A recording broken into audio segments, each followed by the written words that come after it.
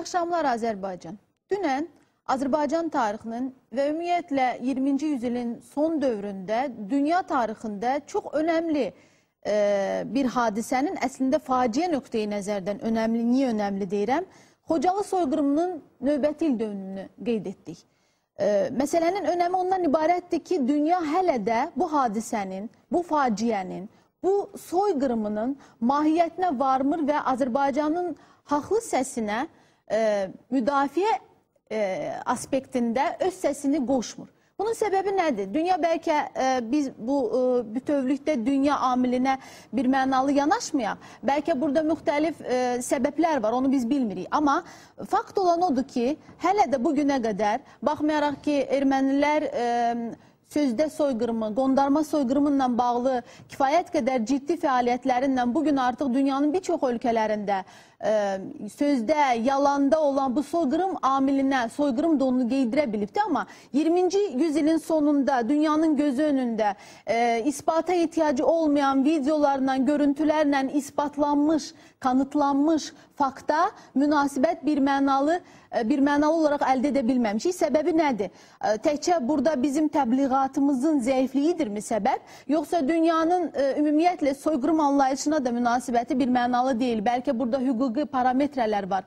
Bəlkə biz hüquqlarımızı doğru dürüst e, ortaya çıxarta bilmirik və bu məsələdə özümüzə dəstək tapa bilmirik. Burada bəlkələr çoxdur təbii ki, amma bugün e, biz studiyamıza dəvət etdiyimiz iki e, çox dəyərli qonağımızla niyələrə cavab axtarıb tapmağa çalışacağıq. Nə qədər tapacağıq onu bilmirəm, amma hər halda bugün studiyaya dəvət etdiyimiz Dünya Azərbaycanlıları Konqresinin Daimi Şurasının sədri İsveç vətəndaşı, Azərbaycanda Milli Azadlıq Hərəkatında çox önəmli yeri olan, bugün də Azərbaycan devlətinin dünyada tanıdılmasında kifayət qədər ciddi fiqur olan Əjdər Tağızadəni studiyamıza dəvət etmişik və Dünya Azərbaycanlıları Konqresi Azərbaycan nümayəndəliyinin rəhbəri Səftər Rəhimlini studiyamıza dəvət etmişik. Xoş gəlmişsiniz bəylər. Mən e, bu e, suallarla bağlı e, Əjdər bəy, e, Səftər bəy, ümumiyyətlə e, bugün hər halda e, siz də müşahidə edirsiniz. Bir mənalı deyil bunun olan münasibət və hətta e, sadəcə il dönümündən il dönümünə dünyada keçirilən e, müxtəlif e, deməli tədbirlərlə, mitinqlərlə, e, dərc edilən kitablarla və s. kimi motivlə e, bu il dönümü ərəfəsində bir şeyler izah eləməyə çalışır. Daha sonra belə bir soyuma prosesi baş verir. Mən daha çox sizin fikrinizi öyrənmək istəyirəm. Niyə? Siz Avropa Antalya göbəyindəsiz. Azərbaycan dövlətinin tanıdılmasında çox kifayət qədər ə, işlər görmüsünüz. Allah sizdən razı olsun. Bunu Sağ biz bilirik. Amma mən bu niyəyə cavab axtarma, axtarıram. Niyə Xocalı, Xocalıya soyqırım kimi status hələ qeydirə bilmirik? Avropa dəyərləri ilə Xocalı soyqırım anlayışı arasında fərq mi var? Demək ki, Hər halda biz bütün e, seyirciləri salamlayaraq, ə, e, özəlliklə bugün bilirsiniz Azərbaycanlıların və bütün Azərbaycanlılar, mən deyə bilərdim ki, 60 milyondan artıq olan azad dünyada yaşayan Azərbaycanlıların ağır günlərindən biridir. Bəli. Və ermənilərin Xocalıya demək ki, bu cür hücumları və orada çox sayda qadın, uşaq və yaşlını öldürüb dondurması, evindən, yurdundan, yuvasından didərgin salması demək olar ki, Sevil xanım bir uzun və geniş bir projenin bir parçası idi. Bəli. Yəni, bəlkə biz belə hesab edirdik ki, Azərbaycanda bunlar elə topxana meşəsini kəsməklə qurtaracaqlar və yaxud demək ki, onlar bizim bəzi şəhərləri almaqla yaxud demək gedib əskərani alacaqlar, sonra bir şey olacaq və qutaracaqlar. Amma çox diqqətlə baxanda görürsən ki, ermənilər öncədən bu projəni, yəni bu proqramı hazırlamışdılar və sonralar bəlli oldu ki, onların gizli proqramında e, Xocalini almaqla oradan demək ki, Xankəndiyə yol açılsın, oranın demək ki, aeroportu alınsın. Hı. Və bunlar orada Rusların o motorizə atıcı alayını necə hazırlamışdılar ki, bunların topları öncədən e, Xocalını vursun. Siz bilirsiniz ki, bunlar həm demək ki, Kəlbəcərdə sonralar və ondan öncə Xocalıda, Xocalını uzun sürəli bunlar mühasirəyə almışdılar, bəl, həsrə bəl, almışdılar. Bəl. Və demək ki, Azərbaycanda da bir türlü, e, nə bilim, mən o məsələlərə çox istəmirəm e, girişəm. Ancaq bir türlü belə fikir vardı, yaxçı. Elə biz Vortalyotla da gedirik daha. E, son günlər və son həftələri deyirəm. e, Xocalıya gedirik da. Orada demək ki, onlara imdad edəcəyik və siz bilirsiniz ki, məndən də yaxşı bilirsiniz ki, Xocalını müdafiə edənlər o göz e, yerli müdafiəçilərdir. Bizim indi polis dəstələrindən var idi və e, milli ordudan var idi. Ancaq e, mühasirədə olmuş, blokadada olmuş, nə qədər sən güclü də olsun, hər tərəfdən sən və Bəli. fəsili də nəzərə almaq lazımdır. O faciəni yaratdılar və bununla da qurtarmayacaqdılar və onlar hər zaman ermənilər pusquda idilər ki, bu işi görsünlər. Səbəb nə idi sizcə? Səbəb Səbəb ki, nə? Göz baxın- qorxutmaydı baxın, yox, göz qorxutma, Yoxsa bəli, panik yaratmaq ki, siz bilirsiniz ki, e, mən bunu belə deyirəm də, e, biz Dünya Azərbaycanlılar Kongresi olaraq və ha belə İsveçdə, Avropada fəaliyyət göstərən federasyonlar kimi, dərnəklər kimi soydaşlarımız sonra da bilirsiniz ki, indi mənim fikrimcə Aynes Avropaya yayılır, görəndə deməsinlər. Biz yəni e, Ermənistandakı dövləti rəsmiyyətə tanımırıq. E, Cənab Prezident də dəfələrlə söyləyiblər ki, bu İrəvan, bizim torpaq. Bizim bütün e, İrəvanda baxın görün ki, bütün müqavilələr hətta vaxtı ilə Ruslarla e, qol çəkilən müqav- müqavilələrin altında Azərbaycanlıların imzası var. Bura Bəli. erməni toprağı olmayıbdır. Ona görə də biz Avropada bu dövləti rəsmiyyətə tanımırıq. Nədən? Baxın, bu gizli deyil. Bu gün biz bunu deyəndə çoxları deyirlər ki, ay bir bölgədə konflikt yaratmaq istəyirlər. E, açıqdır ki, ermənilər iki dənizin ortasını istəyirlər. Xəzər dənizi ilə Qara dənizin ortasını bunlar demək hətta o üç dəniz deyək bunun ortasını istəyirlər. Və siz baxın görün ki, gəldilər Azərbaycanda bu fitnəni yaratdılar. Yəni ermənilər başa düşməli idilər ki, əgər doğrudan da siz üstəyirsiniz, bir imperiyanın caynağından qurtarasınız və müstəqil demək ki, bir ölkə kimi, millət kimi yaşayasınız, yaşayın da. İndi hələ bəzi, zaman zaman bəzi vaxt başa düşürlər, amma öz içindəki oyunlar bunlara izin vermir. Yaşayın orada. Nədən oldu ki, Rus imperiyası bunlar çəkilib gedəndə, Qafqazlılar mən deyirəm, Qafqazlılar, biz Azərbaycan türklərdə içində olmaq şərti ilə, Gürcülər və ermənilər. Yaxşı, bunları ki, çıxardırdıq buradan, nədən oldu bunların ayağını bağladınız, burada saxladınız? Nəyə görə? Və siz çalışırdınız ki, hər işi görürsünüz ki, və Rusları orada saxladınız. Və Rusları işinləndirdiniz, Azərbaycanlının canına saldınız və onlardan yenə siz dəstək aldınız və bu bölgəni tamamilə və bütövlüklə konflikt içində saxladınız. Bəli, Baxın, bu Rusların e, Bəli. təbii bunu anlayırıq. Bölgədə iri güclər var. Bölgədə e, Cənubi Qafqazı əldən Kim vermək istəmir. Tamamilə doğrudur. Yəni Burada Rusiya, bu Rusiya a, a, amili, İran amili bunu diqqətə alırıq. Amma mənə maraqlıdır. Bax siz deyirsiniz ki, siz e, e, Ermənistan dövlət kimi tanımırsınız. E, Anladım. Dünyada Xocalı e, soyqırımını onun da- tanımır. onun Mən bilmək illəti istəyirəm var. ki, niyə Onun tanımır? illəti var. Baxın görün bir Hə. sözü mən söyləyim ki, e, demək ki 1918-dən öncə Seyim var idi. Qafqazlarda Seyim var idi. Bəli. Ermənilər orada xiyanət elədilər.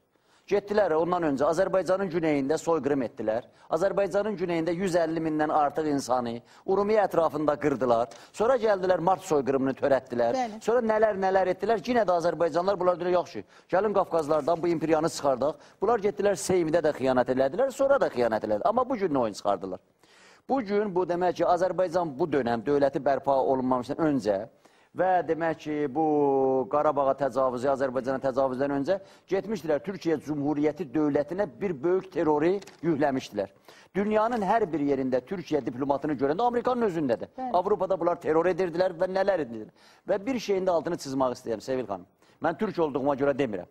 Bu bölgəyə tarixən terroru ermənilər gətiriblər. Bəli. Və cinayəti də ermənilər gətiriblər. Ona görə də ayaqların da saylarından demək ki, artıq uzadırlar və istəyirlər ki, artıq torpaq götürsünlər, artıq demək ki, meydan oxusunlar. İndi biz neyniyək ki, əgər sənin torpağın kasıbdırsa, o sənin Tanrı ilə öz aranda hesabdır. İndi bu günləri gətirib nə qayırırlar? Misal üçün. Biz dünyada çalışırıq deyək ki, bu Xocalıda, bu Qarabağda, bu Azərbaycanın güneyində siz soyqırım yapıbsınız. Genosid siyasətidir bu. Cocuqlara, qadınlara rəhm etməyibsən. Sən ya müsülman ol, ya demək ki, e, xristiyan ol, ya yahudi ol. Hər halda sən bu cinayəti yapıbsan. Ona görə də bu günləri necə ki, Qazada İsraillərin bir əməlini, pis əməlini hamı qınayır. Onda burada da qınamalıdırlar. Amma burada nə qayırırlar? Elə ki, bunlar yenidən gəldilər e, Qarabağda və Xocalı hadisəsini, başqa hadisələri törətdilər. 1 milyondan artıq insanımızı didərgin etdilər. Oradan tez qondarma bir soyqırım oyunu ortaya atdılar. Türkiyənin əleyhinə. Yəni demək ki, neynəsin, örtbasdır eləsinlər. Əgər siz demək ki, Xocalını soyqırım kimi tanısaz onda, onda demək ki, birinci tanımalısınız e, Türkiyədəki 1915-ci Ama soyqırım. 15. soyqırımını 90 ildir bunlar dünyaya indi bir çıxardılar. şəkildə. Mənə maraqlıdır ki, bizim diasporanın gücü nə səviyyədədir? Səfdər bəy, siz də e, bu müzakirəyə qoşulun. E, bu e, bu günləri bizim, baxın indi biz müqayisə edirik, siz tamamilə doğru dediniz. E, mən üzülərək bunu söyləmək istəyirəm. Heç istəməzdim ermənilərlə ümumiyyətlə müzakirə e, deməli bir-birimizi müqayisədə e, kim güclüdür, kim zəifdir göstərək. Amma fakt odur ki, bugün biz Xocalı kimi əlimizdə bu qədər əsasın olmasına rəğmən biz Xocalı kimi bir hadisəni dünya miqyasına, dünya çapında e, ciddi bir faciə hadisəsi kimi gündəliyə çıxarda bilmirik. Səbəbini axtarıram. Nədir səbəbi? Buyurun Səfdər bəy. Diasporamızla bağlı məsələyə gələndə bizim diasporamızın bir o qədər də yaşı çox deyil. E, diaspora bugün dünyada dövlətin xarici siyasətinin altyapısının əsasını görən bir formadır, bir modeldir. Amma bizim diasporamız hələ yeni yarandığı üçün e, bir sıra problemlərimiz var. Amma e, yaşın az olmasına baxmayaraq bu gün dünyada bir çox e, millətlər var ki, onlar e, diaspora fəaliyyətində kifayət qədər nəticə əldə ediblər. Yəni bizim diasporamız bəzən elə məqamlar gəlir ki, onlarla hətta müqayisə olunacaq dərəcəyə gəlib çatmışdır. Burada şey de var mı? Mesela dünyanın e, bu konjunktura dediğimiz amil var. Konjonktürel olarak bazı şeyler var ki mesela 3-5 yıl bundan evvel e, İranda insan hakları tapdalanır dediğin takdirde reaksiya o kadar değildi ama bugün insan hakları tapdalanır dediğinde dünyanın bugünkü konjunkturasına uygun geldiği için seni dikkate alırlar. Belki ben ona göre bunu e, sizi belə durmadan üzerinizə gedirəm. Belki Xocalı məsələsində də konjunktura yetişməyib bəlkə. O- Onu anlamaq istəyirəm. Niyə biz bu qədər əlimizdə əsas varkən biz heç bir ölkənin bir parlamentası mən bilirəm siz Belçikada, Avstriyada, İsveçdə parlament səviyyəsində bu məsələni qaldırmışdınız. Yəni e, millət vəkilləri ilə falan görüşmüşdünüz. Nəticə nədir? E, biraz da bu o, mane olan səbəbləri e, öyrənmək istəyirəm. Biz çox zamanlar e, danışırıq və demək ki, indi Türk dünyasında, Türkiyə Cumhuriyyətində, Avropada və çox zamanlar indi belə olubdur ki, e, biz özümüz də, öz içimizdən də insanlar çıxır. Burada Türk amili var. Yəni bu günləri Onu burada demək ki, Türkiyə Cumhuriyyəti dövləti, Kuzey Kıbrısda, Azərbaycanda, Azərbaycanın güneyində, Orta Aziyada, burada Qarabağın özü belə bütövlüklə özünü və elə Xocalı da onun içində Damokles qılıncı kimi saxlayıblar bizim boynumuzun dalında.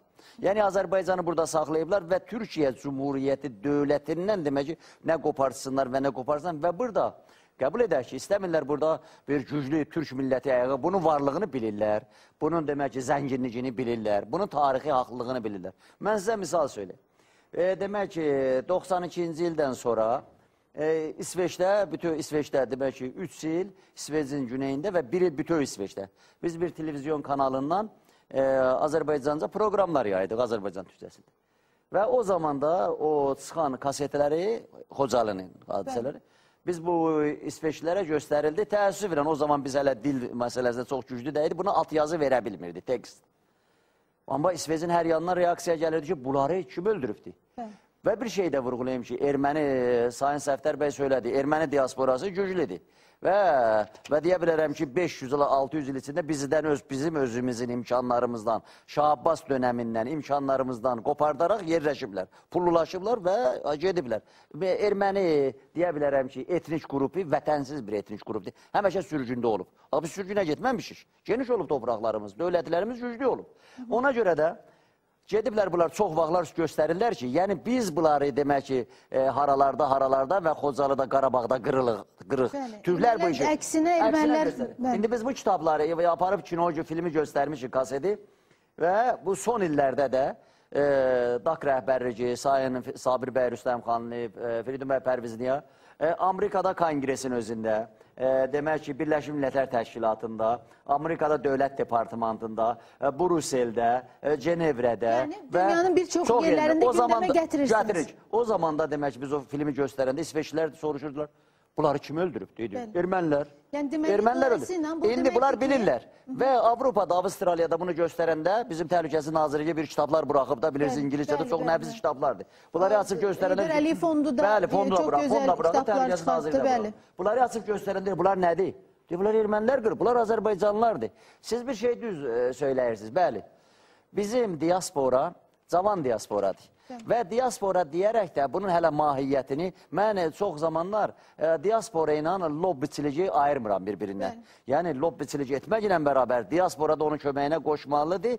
Ancaq burada çox böyük qüsurlar vardır. İndi Yəni qüsurlara dönəcəyik Bəli, biraz sonra. Reklama ayrılaq Əjdər bəy. E, mütləq indi mənim istədiyim nöqtəyə gəldiniz. Biz əslində biraz da o e, öz qüsurlarımızı da e, e, təftiş edək istəyirəm. Reklama ayrılaq. Reklamdan dərhal sonra Xocalı ilə bağlı diasporadakı vəziyyətimizi niyə Xocalını soyqırım kimi tanıda bilmirik sualının cavabına yaxınlaşmağa çalışacağıq. Reklamlar. Şənbə gecəsində siz dünən Azərbaycan tarixinin e, soyqırım səhifəsinin 18-ci il dönümü idi. Biz bugün Xocalıdan danışırıq. Daha dəqiq Xocalını niyə dünyaya tanıda bilmirik sualı ilə qonaqlarımıza müraciət etmişik. Studiyamızın qonaqları Dünya Azərbaycanlıları Konqresi Daimi Şurasının sədri, İsveç vətəndaşı Əjdər Tağzadə və Dünya Azərbaycanlıları Konqresi Azərbaycan nümayəndəliyinin rəhbəri Səftər Rəhimli. Bu biz indi e, Səftər bəy e, biraz bundan əvvəl e, həm də qüsurlardan danışdıq. E, bəli, ciddi işlər görülür. Bu günləri məsəl üçün e, Heydər Əliyev Fondu, Milli Təhlükəsizlik Nazirliyi, Xarici İşlər Nazirliyi, Azərbaycanda fəaliyyət göstərən müxtəlif diaspora təşkilatları, o cümlədən Dü- Dünya Azərbaycanlıları Konqresi, Diaspora Komitəsi və s. Bütövlükdə isə hələlik, yəni e, nəticə nədir sualını verər, verdiyimizdə o qədər də belə deyim, işıqlı cavabımız yoxdur. Bunun səbəbi nədir? Burada bayaqları Əjdər bəy etnik türk amilini də e, ön plana sürdü. Amma bir neçə e, veriliş bundan əvvəl də nəzərinizə çatdırım. Bizim studiyamızın qonağı Belçika parlamentinin fəxri e, prezidenti xanım Lizin idi və e, Global Humanitar Təşkilatının rəhbəri cənab Fusta idi, Səfir Fusta idi. Çox qəribə bir e, məqam vardı orada. O dedi ki, siz e, Avropanın müxtəlif şəhərlərində e, 10 adamdan soruşsaz ki, Azərbaycan haqqında nə bilginiz var, onun 8-i Azərbaycanı tanımayacaq. Bu çox ciddi bir e, rəqəmdir. Bunu e, çox ciddi bir səfirdən eşitdim bu verilişdə, bu proqramda. İndi biz deyirik ki, bizim bəli diaspora tariximiz azdır, amma nəzərə alsaq ki, 80-90 il bundan əvvəl texnologiya, e, informasiya texnologiyaları bugünkü qədər inkişaf eləməmişdi. Bu da bizim üçün artılardan biridir. Və səbəb nədir? Ümumiyyətlə diaspora e, fəlsəfəsində biz təşkilatlana bilmişikmi? Buyurun. Əslində e, diaspora hərəkatı başlayıb. Mən deyərdim ki, bu günləri həm də dövlətimizin diaspora komitəsi var. Bəzən dövləti təmsil edən bir diaspora siyasəti ilə məşğul olan deyəndə biraz başqa cür baxırlar. Yəni diasporanın formalaşması, diasporanın nəticə verməsi düşünürəm ki, qeyri-hökumət təşkilatlarının e, e, mahiyyətinə uyğun, yəni millətin doğru düzgün haqqını dünyaya çatdırma o amilindən başlayaraq onun harda haqlı, harda haqsız olmasını elə ifadə etməlidir ki, bunu inandıra bilsin. Məsələn, o siz adın adını çəkdiyiniz o iki şəxslə mən də görüşdüm. Deyir ki, e, bir erməni gəncinin yazdığı öz başına gələn bir əhvalatı yazıb. Deyir, həmin o kitab e, parlamentdə deyir, hər bir senatın deyir, əlində gəzirdi. Yəni bizdə bu gün onunla bağlı əsərlərimiz yazılmalıdır. Bu gün e, Qarabağda, Xocalıda baş verən hadisələr elə qələmə alınmalıdır ki, bu dünyanın da e, marağına səbəb olsun. Yəni hər bir insan düşünməlidir ki, bu gün e, onu dünyada elə tanımalıdırlar ki, onun haqqını da e, verə bilsinlər. Yəni beynəlxalq hüquq normaları var.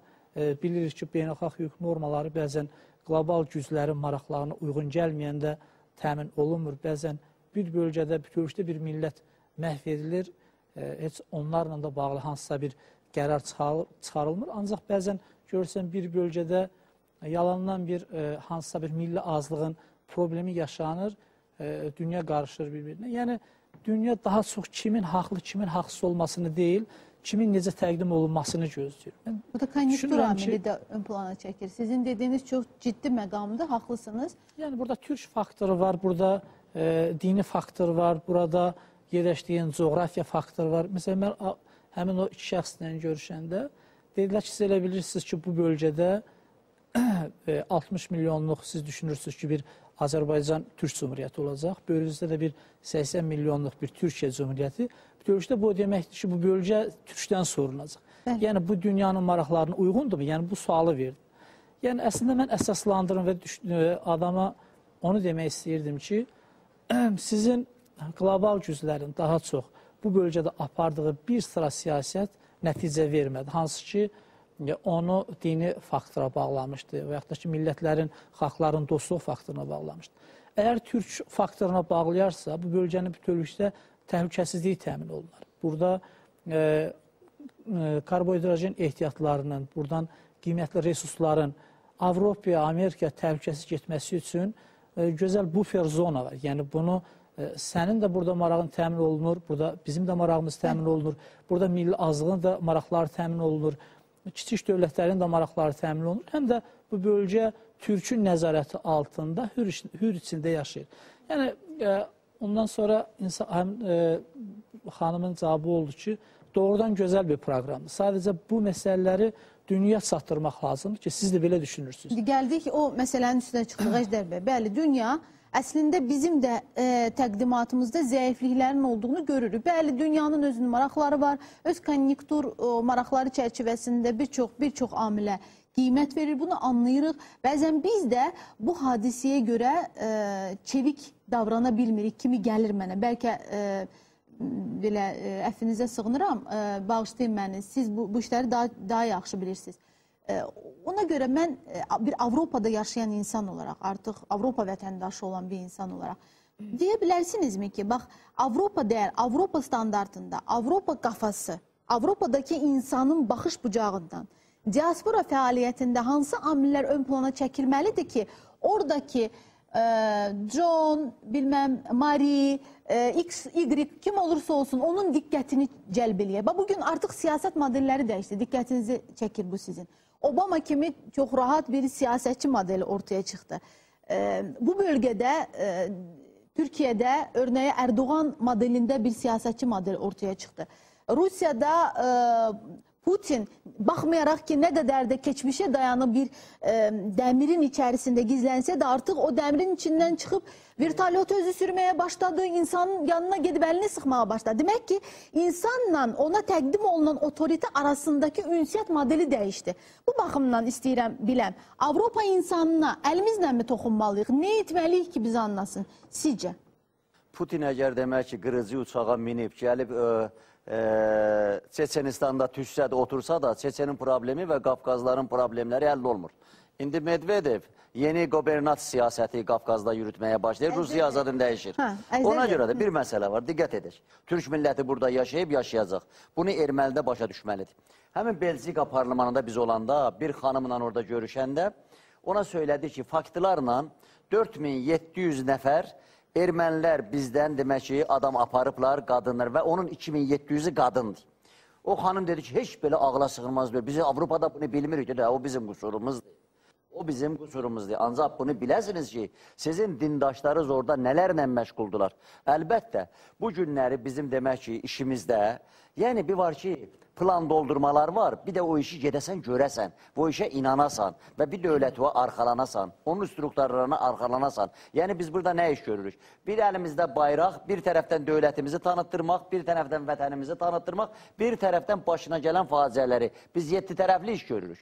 Yəni nə görürük və az imkanlarla dəfələrdir gəlirik, deyirik ki, gəlin biz dünya çapında. Mən istəmirəm ki, özümüzü kimsələrə oxşadaram. Oxşadam. Siz yaxşı eləyirsiniz. Heç vaxt biz özümüzü İraq olsun, İraq olsun bizdən İraq erməniyə oxşatmamalıyıq. Ay erməni o işi gördü, biz də bu işi görək. Yo, istəsək Bəli, oxşayarıq. Yox, yox, oxşamıyor. İstəmirik də oxşayaq. Heç istəmirik. Onlar. Bəli. Onlar Azərbaycan türkünün güneydə, quzeydə qanını töküblər. Onlar cinayətkardırlar və bunu biz sabit edəcəyik. Bizim millət buna qadir olacaq və edəcək də bunu. Amma bir məsələ var. Dəfələrlə biz gəlirik, Dünya Azərbaycanlılar Kongresi kimi gəlib deyirik ki, gəlin dünya çapında bir televizyon açalım. Televizyonumuz olsun. Baxın, bir etnik qrup bir televizyon verilişi açdı və bu günləri Türkiyə Cumhuriyyəti dövlətinin, qoskoca dövlətinin boğazına bir dənə sümük kimi taxılıb o televizyonun işi qalıb.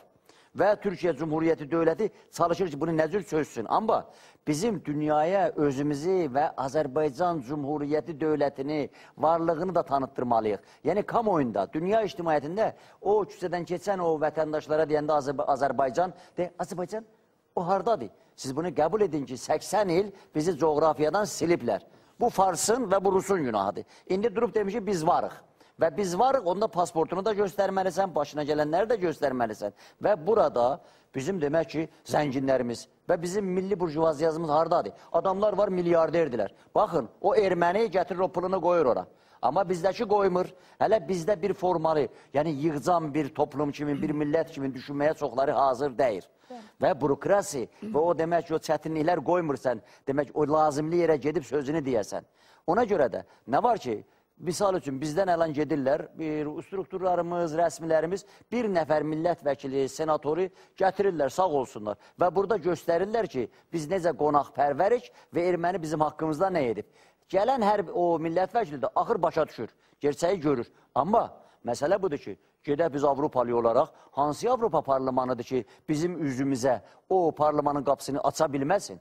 Yəni mənim bir dənə millət vəkilim, siz kimi bir jurnalistim, özümüz də qabağa düşəndə bütün qapılar açıqdır. Amerika Kongresinə zək və Birləşmiş Millətlər Təşkilatı hamısı açıqdır. Amma söhbət odur ki, ermənilər işlər, işlərini koordinə edirlər. İrəvanda da koordinə edirlər, Los Angelesdə koordinə edirlər.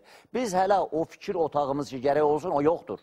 O yoxdur ki, yəni deyək ki, bax bu Xocalı məsələsini harda biz yığılmışıq Bakıda, bütün Azərbaycanlılar, Güneyli, Quzeyli, Təbrizli, Ərdəbilli, Urumiyəli, Qubalı, e, Gəncəli fərq etməz. Şey yığılalım bura və oturarım doğrudan da bu məsələni konuşalım, danışarım bu məsələni və konsepsiya ortaya qoyalım. Aydınları da fikir adamları. Olsun Təbii aydınları, ki, bütün, olsun. Ne olsun ki, ne olar demək ki, bizim rəsmi adamlarımız demək ki, bu günləri bayaq söylədim mən. Bizim Təhlükəsizlik Naziri götürüb o kitabları nəşr edibdi və yaxud da ki, Mehriban xanım o fond nəşr edir.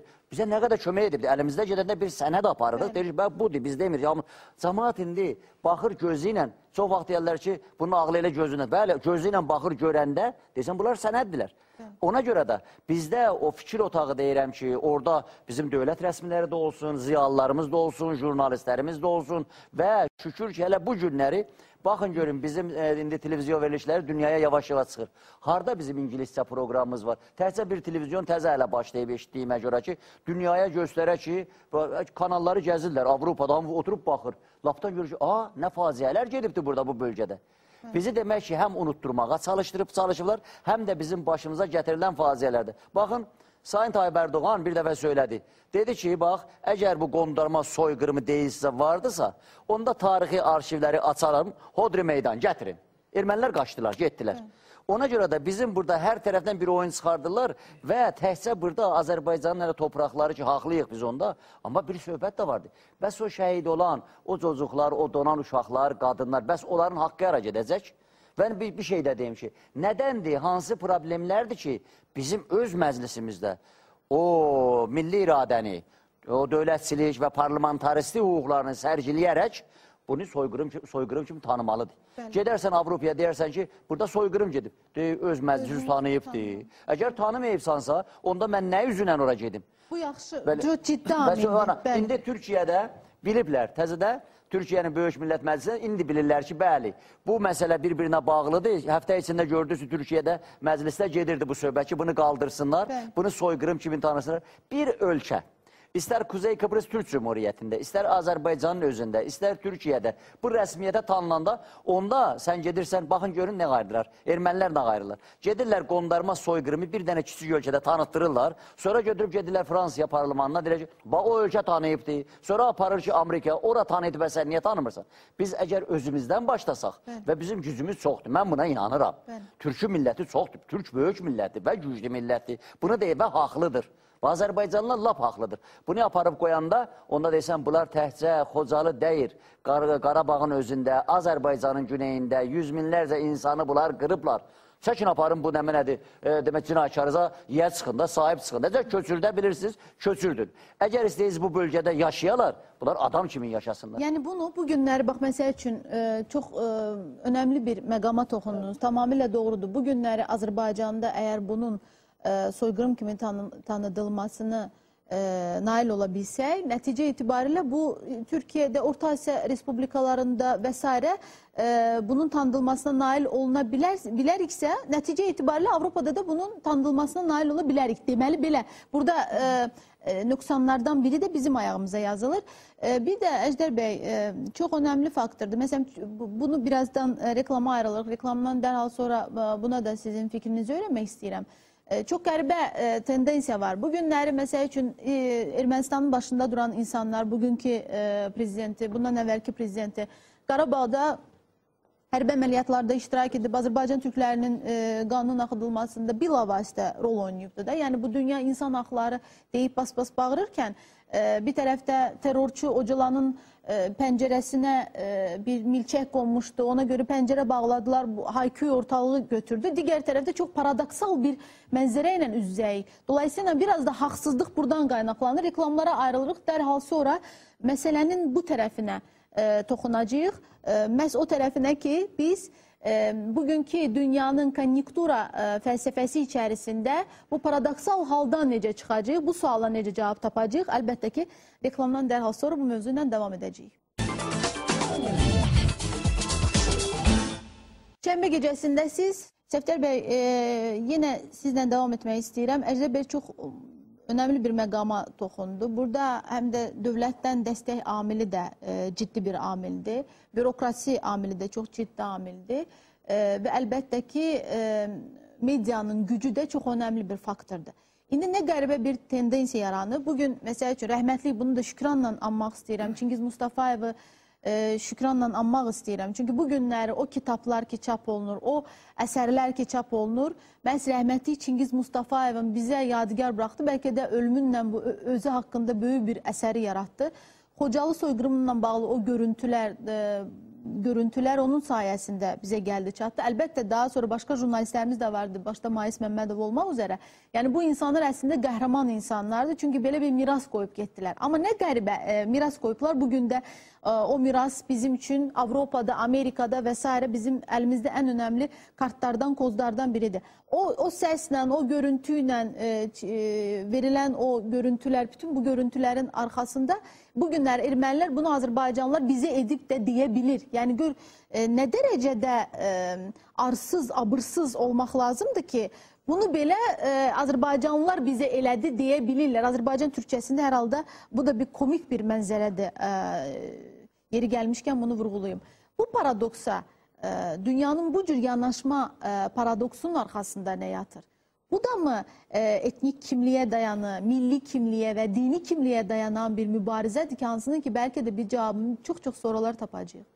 Buyurun Səftər bəy. Ola bilsin Sevil xanım, biz hələ dünyaya o təqdimat modelini tapa bilməmişik. Yəni düşünürəm ki, həm dövlətin, həm də millətin apardığı siyasət, gö gördüyü iş e, tamam tamamlanmalıdır, bir bütövlük təşkil etməlidir. E, bu gün diasporamıza baxanda görürsən ki, bizim diasporamızın əsasını təşkil eləyir. E, keçən əsrdən baş, başlamış, e, Güney Azərbaycanı tərk eləyən e, müxtəlif zamanlarda, məsələn, burada e, Səttarxan hərəkatında var, Pişəvər hərəkatında var, Xiyabani hərəkatında var. Ondan sonra Şah dönəmində var. Şah dönəmindən sonra Molla rejimini gələndən sonra köç edən insanlar var. Bu tərəfdə var. Yəni e, müxtəlif cür rejimlərin apardığı siyasətə davam gətirə bilməyən bir insan axını köç eləyib. Bu gün bizim diasporamız təşkil edir. Və bu müxtəlif fikirli, müxtəlif, müxtəlif ideologiyaların olduğu üçün biz insanlar. problem yaşayırıq. Nəyə görə? Bilmirəm. Bu insanlar oradan apardığı fikrin e, fikir bunun üçün çox doğmadır, çox əzizdir. O fikri buraxmaq istəmir. Yəni bu gün e, dövlət anlayışı, dövlətçilik anlayışı, dövlətə xidmət etmə anlayışı, yəni bütün fəaliyyətində e, əsasən e, dövləti başda görmə anlayışı biraz çətindir. Amma Azərbaycan dövləti bu gün e, Dünya Zıbzanları Konqresi, bu gün qeyri-hökumət təşkilatları, xaricdəki Azərbaycan evləri məncə bizim diasporamızın necə danışma modelini axtarmaqdadır. Yəni ola bilsin bir format götürür, işlədir bir müddət, görürsən ki, gedir, nəticə vermir, bunu buraxır. E, bu gün yəhudilərin, bu gün ermənilərin apardığı taktikayla biz gedə bilmərik. Yəni bu millət balaca olub, əzilib, indi hansısa formada özünü e, çalışır ki, biraz yazıq imicini də göstərsin, Bəli. amma bizim millətimizdən gələn bir e, xarakter var, bir e, millətimizdən gəlmə bir e, e, necə deyim, bir qürur var ki, özünü yazıq imicində təqdim edə bilmir. Tamamilə yəni bizim də haqlısınız. millətimizə xas olan e, bir ifadə formamız ortaya çıxmalıdır ki, onunla dünyanın dili ilə danışa bilir, dünyanın o dildə danışaq. E, da e, götürüb kiminsə e, başına gələn hadisəni öz başımıza gələn hadisə kimi təqdim eləməyək. Öz cinayətini, yəni öz Öz cinayətini. cinayətini, bəli. Buna görə də mən düşünürəm ki, çox yaxın bir zamanda e, bizim diasporamız nəticə verəcək. Bugün e, dövlətimizin e, diaspora siyasətinin başında oturan e, şəxs e, doğrudan da həm diplomatdır, həm e, uzun müddətli siyasətdə olan adamdır, həm e, yüksək intellekti var və dünyanı bilir. E, baxırsan adamlar işləyirlər, komandası işləyir və bir neçə formatdan istifadə edir. İndi alınan da olur, alınmayan da olur. Amma bizim hamımız daq başda olmaqla bütövlükdə e, bir-birimizə kömək eləməliyik. Bu gün gedirsən ki, Azərbaycan evləri, Azərbaycan təşkilatları arasında çox böyük bir çat var. E, Bu çat e, böyüyüb elə bir vəziyyətə gəlib çatıb ki, düşmənçilik. Hətta orada gedib başqa millətlərlə bir arada bir işlər görmək istəyir, sənlə bir işlər görmək istəmir. Bunun Yəni, səbəbi mərkəzləşmiş şəkildə bizim bir diaspora fəaliyyətimizin konsepsiyası ortaya gəlməlidir. Bəli. Məncə o konsepsiya bizim dəyərimiz olmalıdır. Yəni dəyər artıq mahiyyət etibarı ilə millətimizi və dövlətimizi tərənnüm eləməlidir. Ondan sonra biz e, bir toparlanma prosesindən sonra mən düşünürəm ki, bizim diasporamız bu baxımdan nəticə verəcək. İndi bizim diasporamız dünyaya e, üç faktorla əsasən çıxır. Bu parçalanmış Azərbaycan faktorudur, Qarabağ məsələsidir, bir də Xocalı məsələsidir. Yəni tutub da bütün günü Qarabağla bağlı, Xocalı ilə bağlı e, dünya ilə danışa bilmirsən. Məsələn, dünya ilə e, Heydərli fondunun e, xidməti ilə, yəni onların təşkilatçılığı ilə bu muğam məsələsi çıxdı ortaya. Yəni muğam ayağa qalxdı, tanıtım başladı. doğrudur. Bu gün dünyada mən baxıram ki, muğamla elədiyimiz təsir daha böyük təsir oldu. Yəni bizə münasibət biraz da başqa cür formalaşdı. İndi sabah başqa bir model tapılacaq, ortaya gələcək. Yəni axtarışdadır, millətimiz axtarışdadır, Azərbaycan aydınları axtarışdadır. Sadəcə Azərbaycan dövləti sahib çıxmanı bacarmalıdır. Bu gün Azərbaycandan kənarda elə böyük şəxsiyyətlərimiz var ki, doğrudan o şəxsiyyət bir senata bərabərdir. O şəxsiyyətin dilindən Azərbaycanın müdafiəsi e, mən deyərdim ki, bütövlükdə bir parlamentin sənlə bağlı, bağlı verəcəyi qərar qədər e, önəmlidir. E, Güneydə məsələ var, bu günləri parçalanmış bir durumdayıq. Bu gün Güneydə milli hərəkat var, insanlarımıza sahib çıxmalıyıq. Orada bütün millətlərlə danışdılar. E, təkcə bizim millətimiz qalıb. Orada e, Güney Azərbaycan, İran adlanan ölkənin 40 milyonu təşkil edir bizim millət. Yəni e, İranın da bu gün əsas strateji e, obyektləri bizim millətin yaşadığı bölgələrdir. bu İran demişkən yaxşı e, e, bu bu məsələyə də toxunaq. Mənə çox qəribə gəlir. Bilirsiniz, bəlkə mən bir şeylər başa düşmürəm. E, siz çox belə şeylərlə, yəni bunların içərisindəsiz bu proseslərin. Mənə çox qəribə gəlir. Bu gün e, bizə məsələn bəzən e, dini bərabərlik göstərən İranın e, Ermənistanla münasibətlərindəki bizə qarşı münasibətində qeyri-səmimiliyi. Mənə çox qəribə gəlir. Bu günlər məsələn Rusiyanın e, bir mənalı bizimlə münasibətində bu məsələdə bir mənalı mövqe qoymamağı. Mənə çox qəribə gəlir bu gün Fransanın ATƏT-in Minsk qrupunda həmsədr olmasına rəğmən bu qədər tərəfli yandaş mövqe e, nümayiş etdirməsi. Bilirsiniz, bu e, üst-üstə gəldiyimizdə biz e, Belə bir situasiya ilə üz-üzəyik ki, e, dostun, düşmənin kim olduğunu da, an deyirlər siyasətdə daimi dostlar olmur, daimi e, maraqlar olur, doğrudur. Amma bu nöqteyi nəzərdən baxıldığında, amma işə yarayanda din qardaşlığı ön plana çəkilir, işə yarayanda 70 il, 200 il mədəniyyət coğrafiyasında bərabər olduğumuz ön plana çəkilir və s. Bunun arxasında nə yatır? Yəni biraz da İran demişkən bu, bu, buradan da e, deməli e, bura işıq tutmaq istəyirəm. İran, bölgənin ciddi e, ölkəsidir və bu məsələ ilə bağlı da münasibətlərində e, Ermənistana kifayət qədər e, dəstək verdi. Rusiya həmçinin. Dolayısıyla bizim belə çıxır ki, bu e, propaganda e, məsələsində də arxamızda duracaq, yanımızda duracaq dost dövlətlərin sayısı demək olar ki, e, çox azdır. Bu da bizə diaspora fəaliyyətində mane olan amillərdəndirmi? Buyurun. Orada bir məsələ var. E, demək ki, siz nə qədər şiə olsunuz, müsəlman da olsunuz, o End Endoneziyadakı da və yaxud demək ki, Filipinlərdəki də müsəlman olur, amma türk ola bilmir. Burada bayaq söylədim ki, söhbət türk torpağından, türk, to türk torpaqlarından və Azərbaycanlardan gedir. E, elə bu Şiyə qardaşlar dediyiniz İran adlanan yerdən Ağay Əli Əkbər vilayəti Xarici İşlər Naziri idi. Gəldi araba e, 27-sində, fevralın 27-sində 92-ci ildə. Gəldi bəli. arabuluculuq eləsin. Demək ki, o zaman Şuşa Xocalı, demək ki, Xocalı. Ha, E, Xocalı. öz qanında qəltan olmuşdu. Uşaqlar demək ki, hələ dağlarda qalmışlar, donmuş. Sonra e, e, Azərbaycanın demək ki, o e, prezident səlahiyyətlərini danışı, daşıyırdı Yağub bəy. Bəli. Onu çağırdılar Tehrana. Eyni zamanda bizim e, Şuşa, Laçın getdi. Bunlar da demək ki, arabuluculuq eləyirdilər. Yəni Sonrasına Rusiya da eyni şeylədi Amma və sairə. bir məsələ vardı ki. Bəli. Bilirsiniz nə var ki, mən sizə bir dənə e, bir misal e, söyləyim. Danmarka ilə İsveçin arasında, İsveçin güneyi ha- haqqında savaş gedib. İskona haqqında. Bəli. Və Danmarkalılar ora gəliblər, bu İsveçliləri qılıb məhv eləyiblər. Bəli. Yəni uşaqları, cocuqları at ayağının altında. İsveçlilər indi onu 3 il bundan qabaq kino çəkmişdilər və göstərirlər ki, bu bu gün sevdikləri, qohum olduqları, özlərindən heç ayırmadıqları Danmarkalılar İsveçlərin başına nələr gətirib. Və hesab elə ki, İngilislər Amerikada, Amerikalıların başına nələr gəlir bu əmi oğlanlarının başına. Və bunu bu günləri Hollywoodda kinolar göstərir. Bu tarixdir.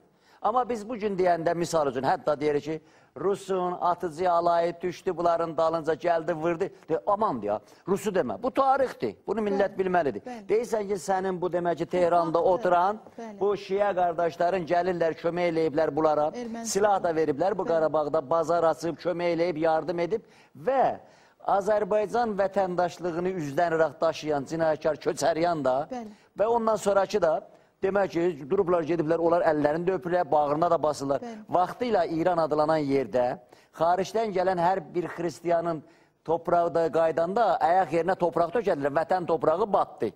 Həmin adamlar, həmin düşüncədə olanlar indi cinayətkarları bağırlarına basırlar. Bəli. Və bu günləri nə qəribə bir şeydir. Ermənilər Bəli. Avropada e, İrana ki qarşı bugün e, bu propaganda gedir də böyük güclərlə İran arasında ciddi nüvə ilə bağlı e, ciddi İndi problem var. gedir. Nə qəribə məsələdir. Ermənilər ki- ən böyük təbliğatçısıdır İran. Mən sizə deyim, Tehran rejimi və Rusiya nə bu Amerikadan qorxur, nə Kitaydan qorxur, nə qoşundan qorxur. Özü də başlarına bir fitnə gələndə onu yıxırlar qonşu ölkələrin başına. Mən deyirəm ki, bu Əfqanistanın, bu İraqın başına gələnlərin çoxusunun, o fitnəkarlıqların çoxusu Tehrandadır. Amma bir şey vardır.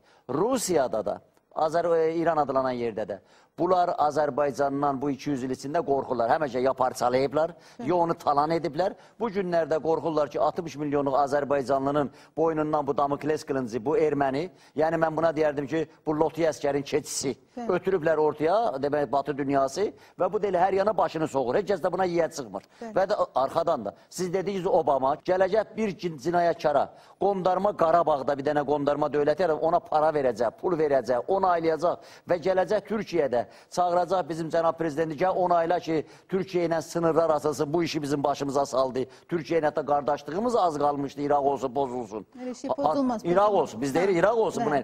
Ona görə də deyirsən ki, hansı sən siyasəti onaylayırsan, burada bir millətin bir milyondan artıq qaçqın insanı vardı. Bəli. Və sən Obama bunu görmür, Amerikalılar bunu görmür. Ancaq mən yenə də söyləyirəm, biz bütün varlığımızı düşünərək, istərsə bizim demək ki, nazirliklərdə, istərsə diaspora komitəsində, istər parlamanımızda, istər jurnalistikamızda, bax xanım görün, Biz istəsək gedək Avropa parlamentlarına, mən Əjdər Tağızadə, Azərbaycanın güneyindən olub sürgündə olan o rejimin əlindən qaçmış birisi tək başıma geçsəm, Avropalı deyəcək ki, sən tək başına nə deyirsən, bir protokol var.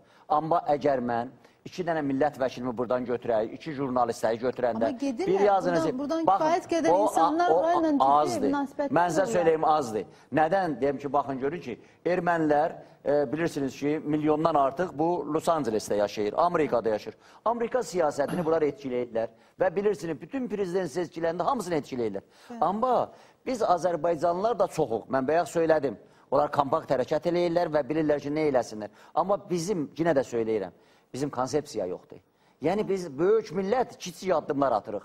Böyük cinayətlər başımıza gəlibdi. Amma belə onu belə qorxa-qorxa. Biz nədən gedəcəyik Amerikanı belə nazlıya-nazlıya, ya o Avropalını? Hə biz belə varıq. Niyə biz onun qabağında demək əyilmərik? Bəzi yerlərə mən gedirəm, görürəm ki, Avropalılar ya Amerikalılar Bizim qazı, nefti, var dövlətimizi satırlar. Heç burada Azərbaycanda xəbər yox. Mənim qazımı, neftimi, burada demək ki, o resurslarımı görürsən, amma başıma gələn o bəlaları görmürsən sən. Yox, Əgər nefti biz, qaz biz biraz göstərmədə də problem yaşayırıq. Onu E, Səfdər ki, bəy də dedi ki, baxın mənim. burada yalnız Amerikanın və ya Avropalının e, Baxın onlar varımızı görürlər. Məsələ budur. İnanın ki, xanım.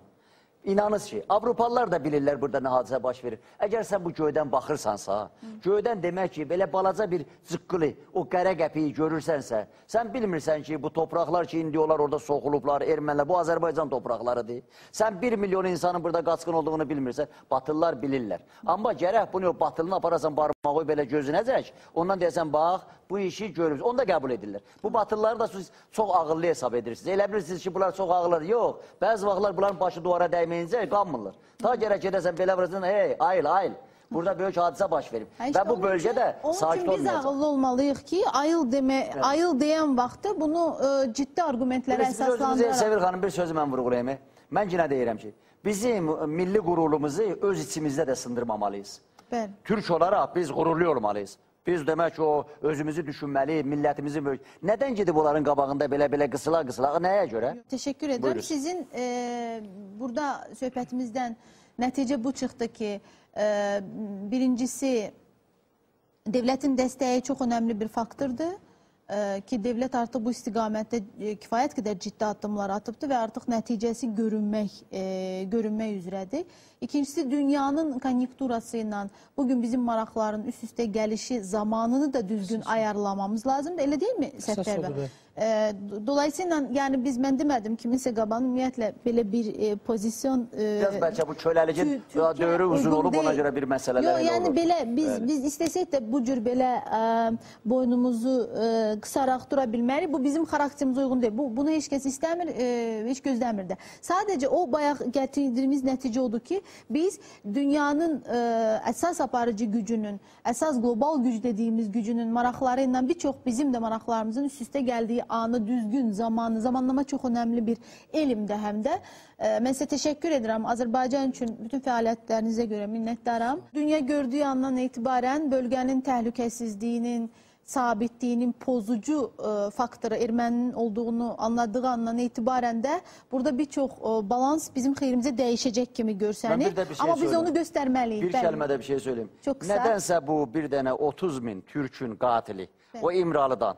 Bəli. Onun səsini oradan eşidir, siz də söylədiniz. Bəli. Burada demək ki, bu boyda millətin, bu boyda dövlətin, qoskocaman Türk millətinin səsini eşitmir bu dünya. Yəni siz demiş ki, burada bir çətinlik var, gərək biz onu eşib çıxardaq ki, nə olub siz gedib İmralıda eşidirsiniz, bir qatilin səsini eşidirsiniz. Amma, Amma- burada 1 milyon qaçqının 1 milyon demək ki, evini eşidirmək. Koçaryan kimi bir qatillə də ortaksınız. Teşekkür ederim size. Sağ çok olun, sağ olun. Bugün e, bizim e, tariximizin e, çox e, faciəli bir günüdür. Xocalı kimi faciəni yaşamışıq. Amma sınmadıq. Bu faciəni bizə yaşatmaq istəyənlər bizi sındırmaq istədilər. Amma unutdular. Biz tarix boyu yetərincə faciələr yaşamışıq, amma heç vaxt sınmadıq. Bugün e, Qarabağda şəhid olan insanlarımızı şükranla anırıq. Bugün Xocalıda şəhid gedən insanlarımızı şükranla anırıq. O lenti bizə miras koyan Çingiz Mustafayevin simasında əməyi keçən bütün insanları şükranla anırıq. Dünyada bu hadisələri dünyaya yayan hər kəsi şükranla anırıq. Çünki biz qəhrəmanlığa layiq xalqıq. Qəhrəmanlarım və qəhrəmanlığım bol olsun. Azərbaycan. Bunu çək. Üzünü, üzünü qaldı. Allah. Qaldır üzünü. Ay Allah. Apar.